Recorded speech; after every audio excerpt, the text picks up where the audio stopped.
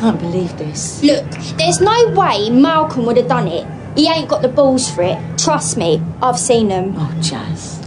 I didn't see Malcolm, okay? Why did you run then, eh? Like I said, six cents. Tell me.